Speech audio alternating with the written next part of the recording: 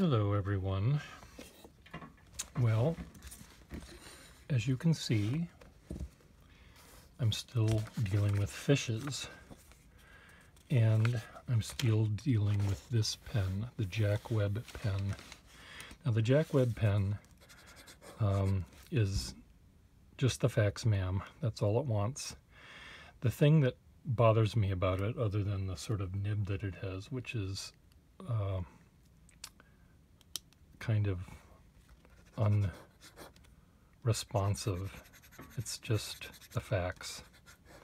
is it jiggles in the section, which happens to many pens as they get old and things expand and contract and stuff and you a pen repairman re fix is to put a little tiny piece of tape or a little tiny piece of paper in there and sort of wedge it in and that extra thickness of the paper or the tape or a little bit of shellac or whatever will hold it tightly and I might do that later today or next week or never but we'll probably do it never.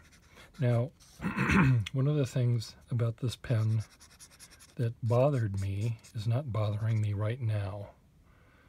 And I may have just tweaked it in such a way so it's not bothering me. But what happens with some pens is the two tines, let's say Here's our nib.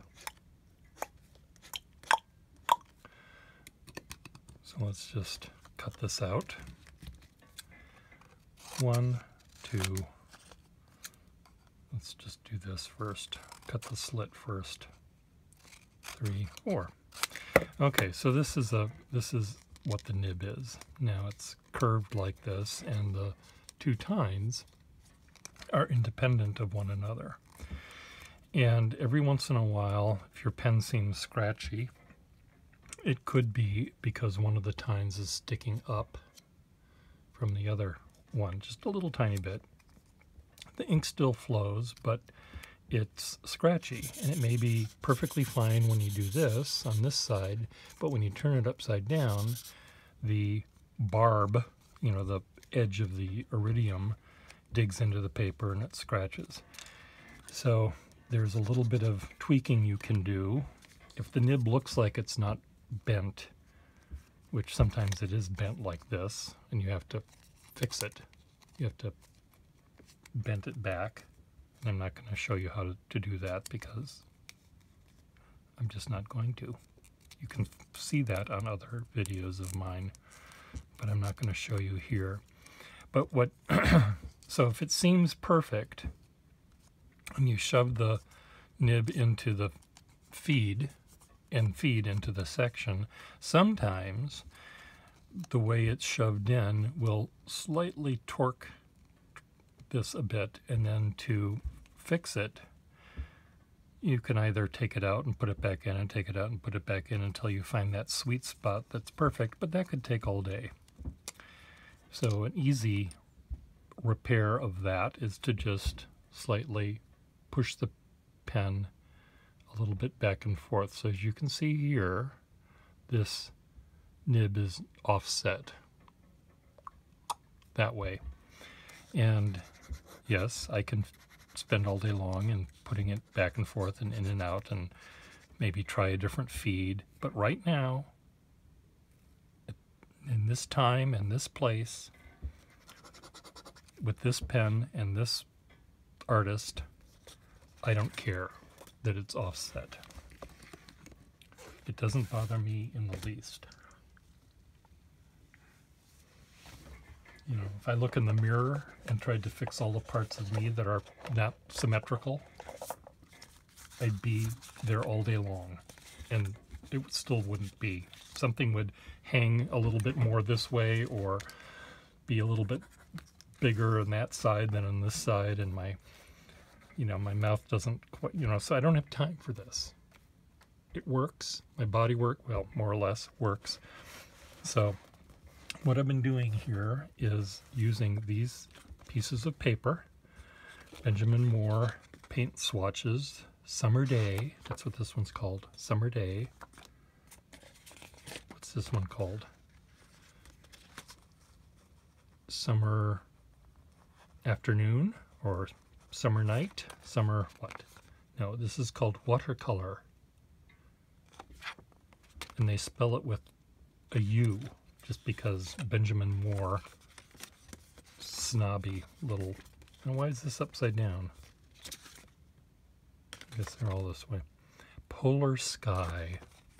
So what I'm doing on these very slick pieces of paper, I am drawing fish for a project I'm working on right now. And as you can see from this book, or you can't see from this book because it's off the page, there are a million different kinds of fish.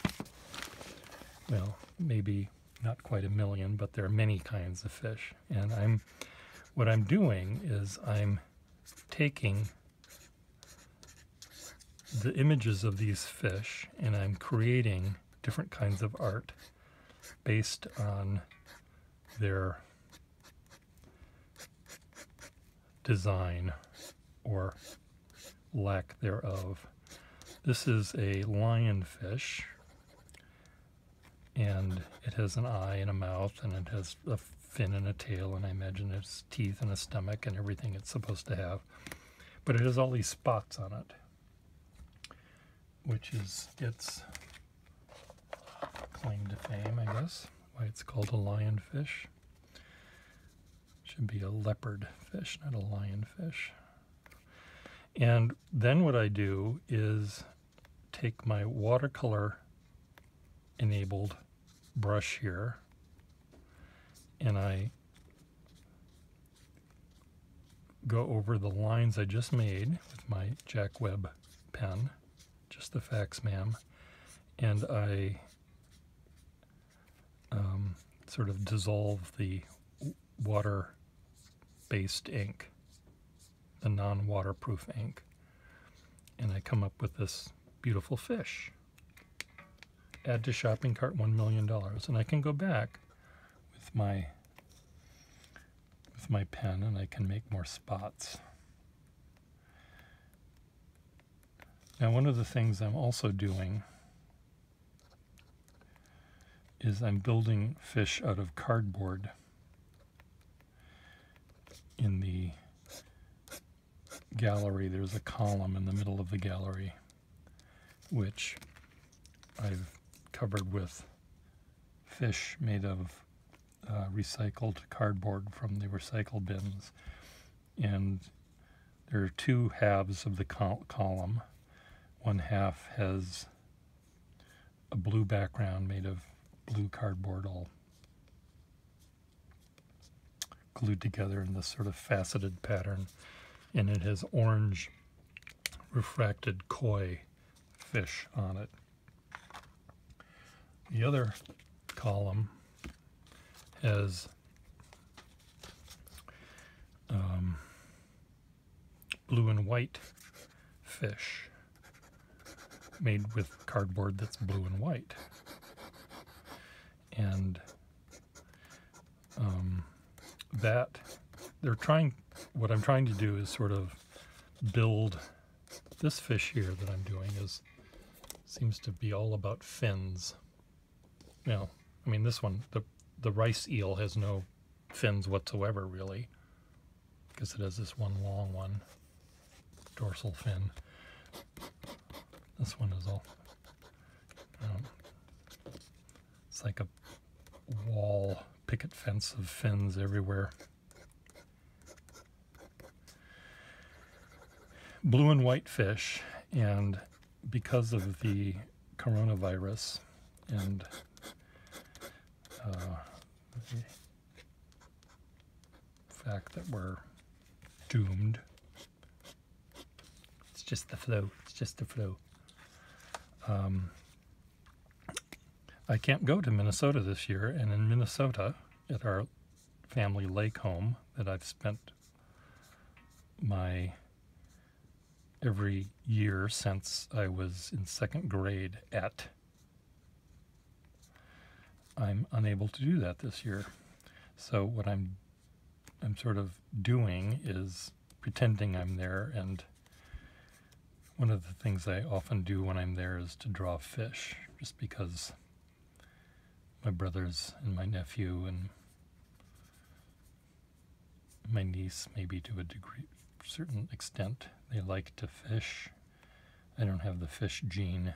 Never was always boring to me. But they go fishing and they come back with their empty tackle box or whatever the word is. Basket fish basket what are those things called? You put the fish in anyway it's empty because Minnesota the land of 10,000 lakes is also the land of 10,000 lakes and 1,000 fish and I think Gull Lake has no fish in it any longer. But what we have up at the lake is a wall um, that's covered with blue and white flow blue uh, plates, china. And some of it's antique, some of it's not antique. Um, some of it's um, sort of those souvenir things you get from Niagara Falls. And anyway, it's all on this wall behind the, above the dining room table in kitchen area. And I thought I would make these little cardboard fish and hang them along with the plates. This is not a cardboard fish, but this is a fish. So I'm doing another display of these drawings, these little doodles. And this paper, these paint samples, because of their surface, the ink doesn't really want to be absorbed in it. So, one of the things I'm trying to do here, I know that I'm, my conversation is going all over the map, is I'm trying to learn to like this pen nib. It's one that I would probably never, ever, ever choose to buy but I bought it on eBay and I've, I'm trying to love it. No, I'm not trying to love it. That's asking for too much. I'm just trying to like it. And as you can see, I'm I'm making some nice things with it. So if at the end of the day I make a bunch of nice things, and especially if I am able to sell some of these drawings I'm making. You can buy them if you want. Add to shopping cart $1 million. No, they're not a million, but they're maybe, maybe they'll be 20 bucks a piece, something like that.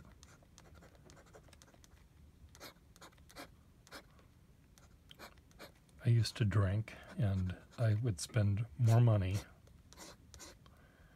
on booze at night than I'm asking for these, well, a lot more money than that, come to think of it. And it seems to me something like this would look lovely in your kitchen. Right? So this pen, going back to Jack Webb here, this is the Sergeant Joe Friday Jack Webb pen, is Johnny One Note, but unlike other Johnny One Note pens, such as Sheaffer Triumph nib or a Parker 51, this looks like it has a regular nib, and I kind of want it to do what regular nibs do and it's not because it doesn't do that I'm annoyed with it, but I'm trying to learn to like it. Like, okay, what kind of things can I do with this pen?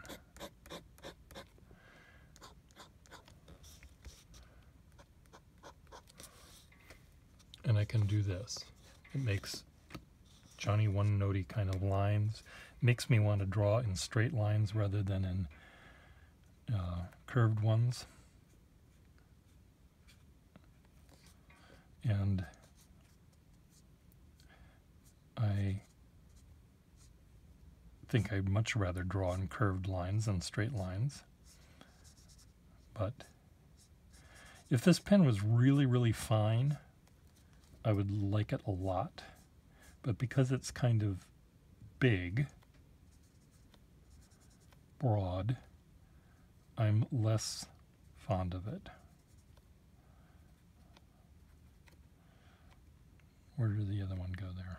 Oh, I screwed that up. Whatever. Um, it's just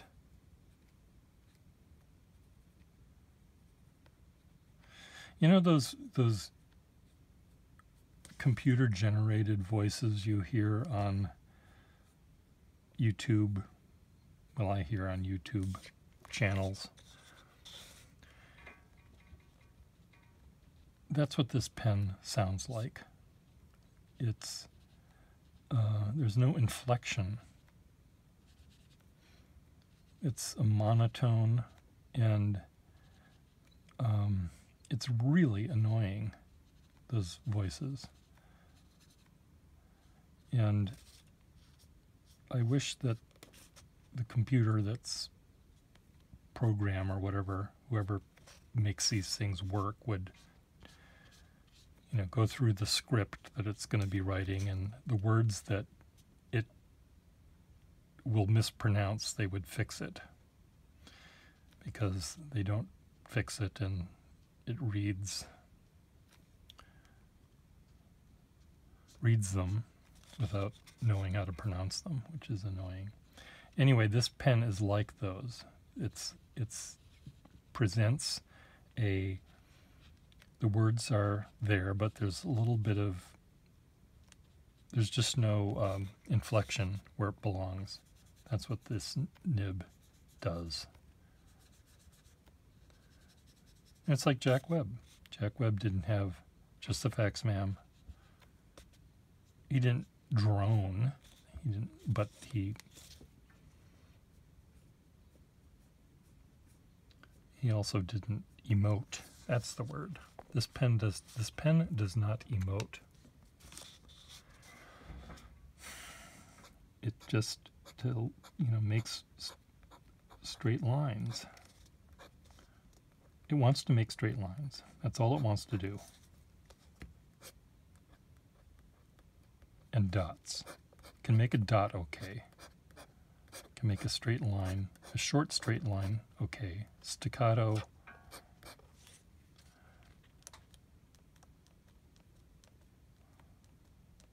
see dots. Dots and dashes. This is Morse code pen.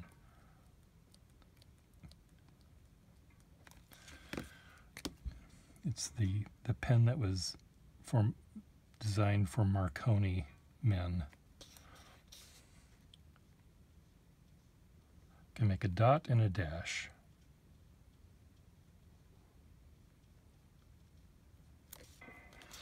Well, did I, is this done yet? Is this fish done. One of the things I was doing downstairs with my little cardboard fish was try trying to they all look like enough like fish but when I actually looked at a book on fish which is what I'm doing right now I see oh my god I put these things in the wrong spot but there's no such thing as putting these things in the wrong spot. Yes, they have a mouth and an eye and a tail. That's about all they have in common. They, they might have a dorsal fin or a remnant of a dorsal fin, but they're just way diverse.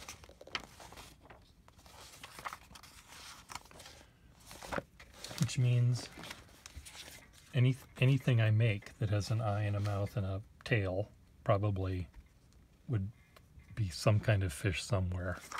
I just looked at that page. Okay,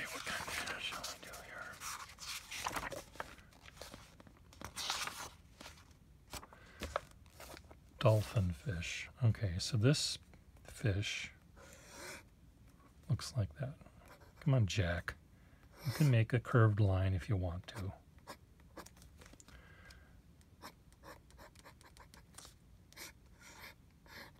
Swallowtail there. Fin, fin, fin. Okay, this is an ugly fish. But some fish are ugly. They're not all pretty. Like people. You know, they can't all be as beautiful as I am.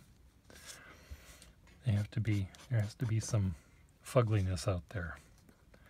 So, uh, of course, I'm joking. This fish has spots.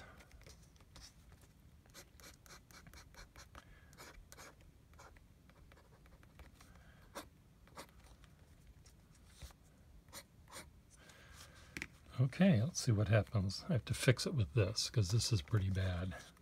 But how can I fix it with this? Oh, damn it. See, this is some of this paper, the the ink sort of spreads out and sits very nicely. And some paper, it doesn't spread out at all. It just beads up on top. And this, whatever this paint or ink or whatever is made of is not happy with my drawing. My drawing is not happy with the paper. So now I have to sort of I had I had plans for this drawing, which I have which are now thwarted by the by the beating upness of it. So I'm gonna switch gears here and try to make do. Yes, I could complain. I know how to do that.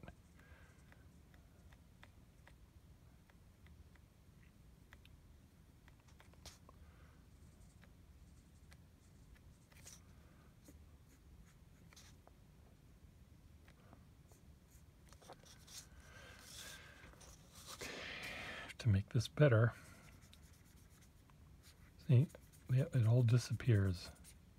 All of that hard work goes away. Not all of it, but it's there. So now we'll go back with the pen.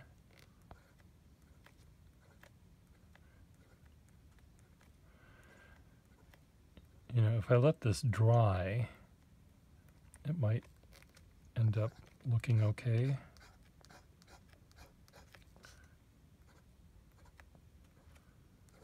But you people know how impatient I can be.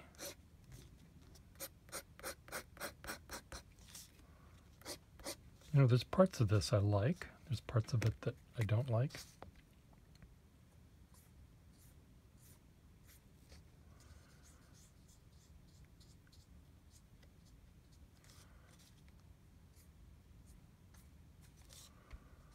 And can I tell you what is the part I like and what is the part I don't like? I, don't think I can because it's not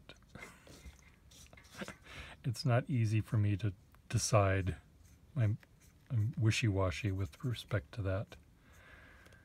Okay, there is a you know, there has to be a way for me to fix this. Let's say I don't like it. Let's say I absolutely hate it. There has to be a way where I can correct this. I sometimes think of art as being like a, a mathematical equation. And just add, you know, you have xyz times 3x over blah blah divided by blah blah blah equals 3. And let's say that's not correct.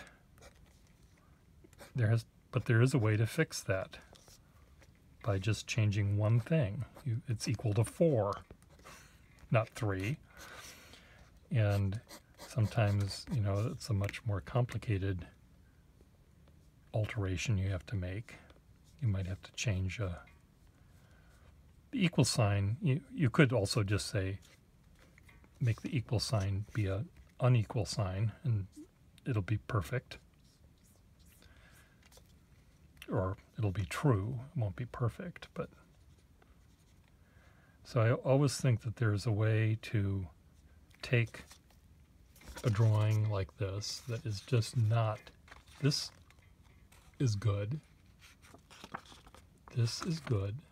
That other one is good. This one is not good. Is it the shape? Is it the drawing? Is it the dots? Is it the what? And I don't know what it is. But I do think there has to be a way of making it good. In my realm of understanding of mathematics and understanding of art, there has to be a way of turning this into being good. Maybe that's maybe what I just did is all it needs. I had to turn that into a beak.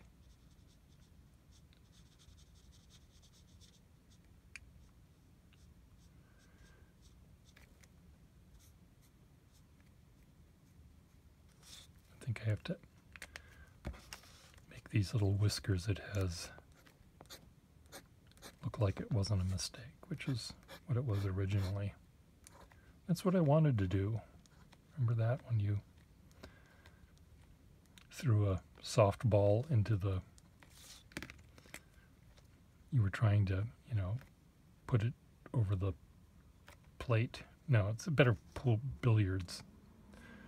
You know, when you shoot a ball and it bounces all different ways and it accidentally makes a ball go in. That's what I wanted to do. Clearly, your brain was not even remotely clever enough to come up with that in advance.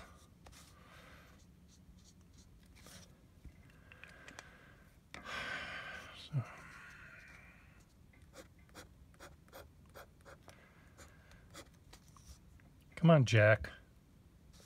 Don't fail me.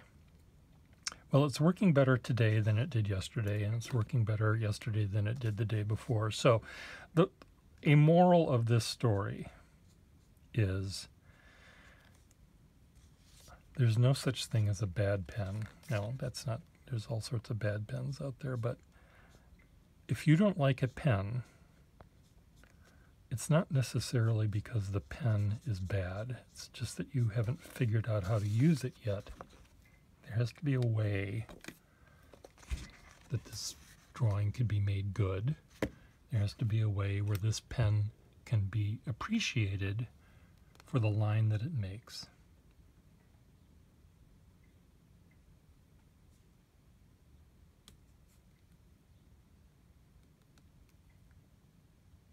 There has to be. If there isn't a way to do that, my faith in not humanity, but in physics and the laws of nature will go away.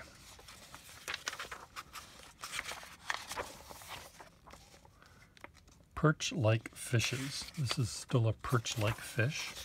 Doesn't look anything like a perch.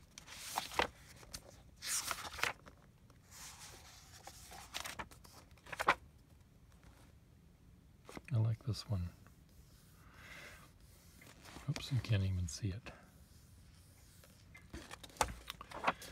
When I'm doing these fishes, I'm often I'm reminded of this movie I saw with Don Knotts called The Incredible Mr. Limpet, where Don Knotts' character, who is a fish lover, runs an aquarium store I think, ends up turning into a fish.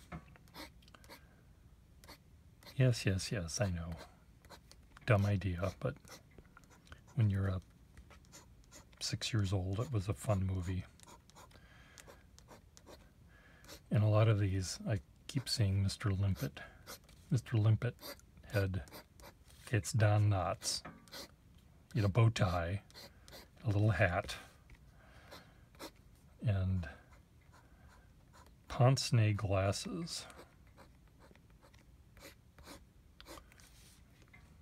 I think. Almost positive he had pince nez glasses. And he turns into a fish and saves the world from Nazism. This fish looks like it's made of brick. This is the brick fish. You know, I should, before I do this, I should try out, is this paper, the kind of paper that, the kind of covering that makes my ink bead up, or is this the kind that doesn't?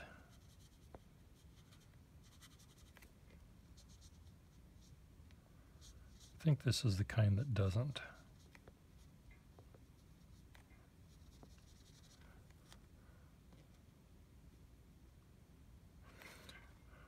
eye, sort of a square eye. I imagine you think all of these little fish are beginning to look alike, and they kind of do.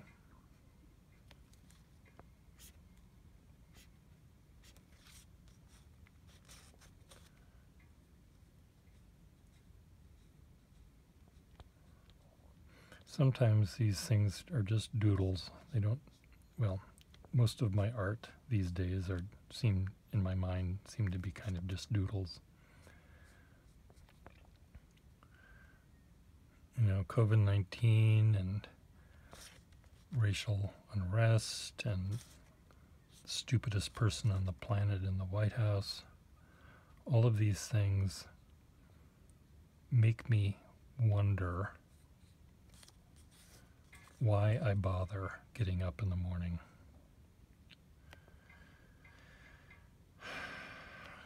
you know, the world when I was a kid, science class was so exciting. You know, we got to learn all sorts of interesting things. We were going to the moon. We were going to the bottom of the ocean. We were discovering all sorts of exciting things. And nowadays, people are believing that the world is flat. Now, there might have been six people when I was growing up that believed that. But now there are many thousands of people that believe that. And it's very sad. it's just very sad that the interweb exists. Now, yes, I know you're watching me on the interweb, but you could be watching the flat earth guy. So I wonder whether, you know, in someone else's children when they're in school, are going to have to sit and learn two versions of what the Earth looks like. Class, now that we finished the chapter on the round Earth, we're going to do the chapter on the flat Earth. See, look what happened right there. Right there. I don't know it's like I pull this thing down and it makes this little island of light around the dark. Now that wasn't happening when I was doing it with the other stuff, so I'm I'm having fun with this one because that's something new is happening. The the ink comes down and it dissolves the ink that's underneath and then makes it lighter and then the new when I pick up the pen, there's a blob of ink that forms. or is left on this lighter island. So there's these little dark dots surrounded by light, which could have been happening on my other ones, but I didn't notice it before. So is that going to happen? Are we going to be, you know, there are stupid people out there that think that we need to teach creationism along with evolution.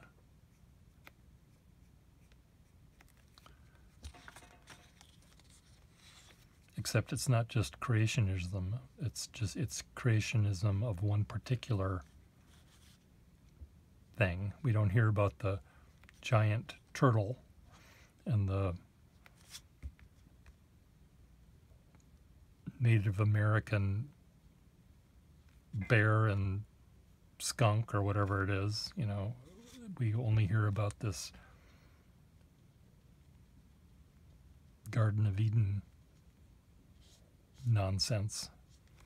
So if we're gonna, if if if we somehow have to, because of some dumb law, teach creationism, then we have, I think, I would demand that we have to list, we have to go through all of the creation myths fairy tales. And then we, you know, I think also the, you know, the, you know, if you went to the dentist, if you had a problem with your teeth and your dentist talked about, you know, he said, what you do is you, you take, you know, you've got a rather serious issue here and, you know, when you were a kid, the tooth fairy would give you money when you would lose a tooth. Well, it's the same thing, but kind of in reverse. So what you do, you go home and you you put a check under your pillow made out to cash made out to the, you can make it out to the tooth fairy and when you wake up in the morning, your tooth, your teeth will be fixed, and your check will be gone, and the money will will be withdrawn from your bank. And what what would you say to that dentist? I'm waiting. Write your answers below. You'd say, you loser. I'm going to call the Dental Association, whatever they are, the ADXYZ. But the ADXYZ is going to be run by Betty, Betsy DeVos and her minions. So it's not going to do you any good. But in your heart of hearts, you're going to think, how on earth did this happen? How could we have gone to gotten to this place? And it's because it's a slippery slope that starts with creationism and intelligent design. And if you believe in creationism or intelligent design, you also probably believe in the tooth fairy. Or you should, because it's much easier to believe the tooth fairy than your actual dentist. Okay, what's happening here? This is one of these sort of catfishy kind of fish.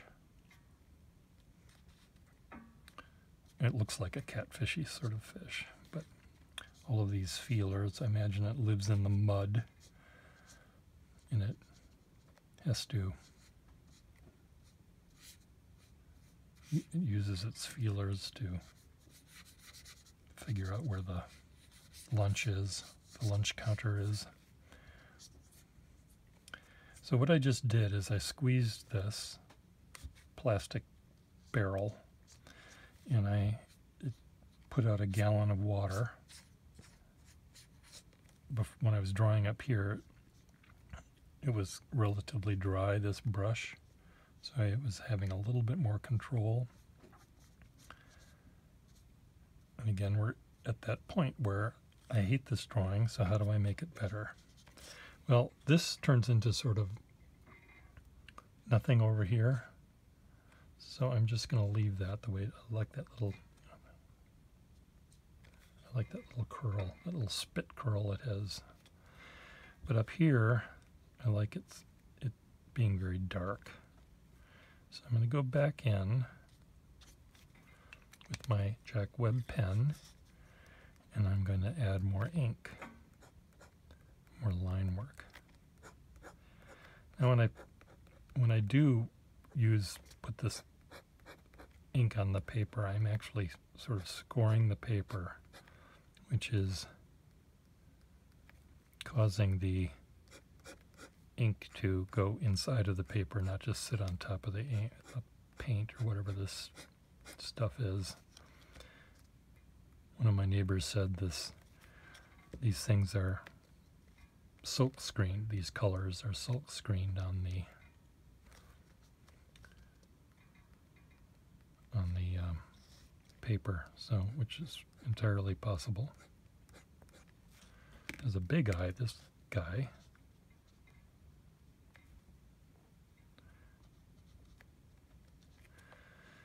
So I don't know, what do you think about this creationism and about fish and about learning to love your pen regardless of how it writes?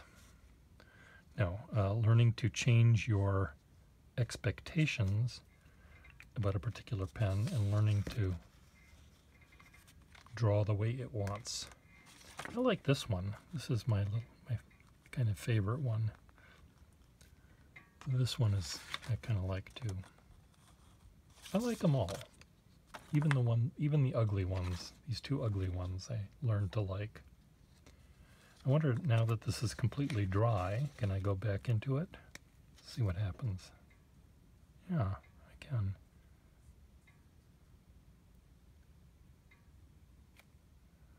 It's kind of neat, the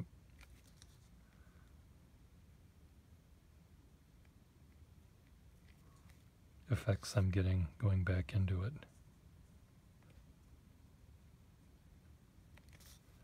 Huh. Well, I'm learning things. 42 minutes. Bye.